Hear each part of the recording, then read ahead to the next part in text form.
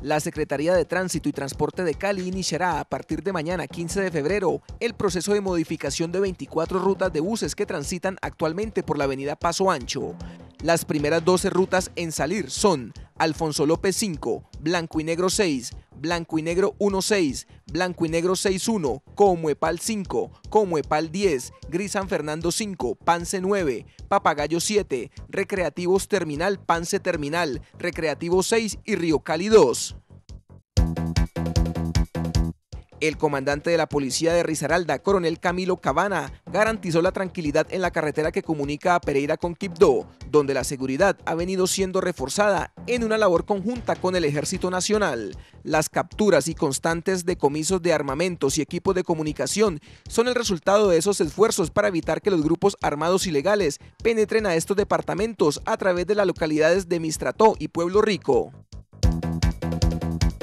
26.400 galones de combustible que eran transportados en tres embarcaciones fueron incautados por unidades de la Armada Nacional en desarrollo de dos operaciones de control fluvial y marítimo en el municipio de Guapi, en el departamento del Cauca.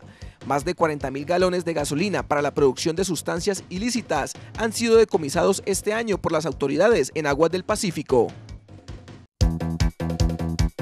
El ministro de Justicia Juan Carlos Esguerra manifestó que Colombia es un país civilizado con un sistema de justicia que brinda todas las garantías para que el excomisionado de paz Luis Carlos Restrepo vuelva al país.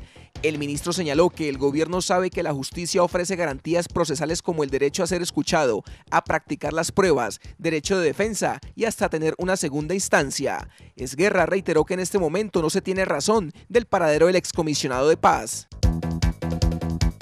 La ex senadora Piedad Córdoba afirmó que luego del anuncio del presidente Juan Manuel Santos, quien dio luz verde para que Brasil sea el país que acompañe la liberación de secuestrados, se retomó la comunicación sobre el tema con la guerrilla de las FARC.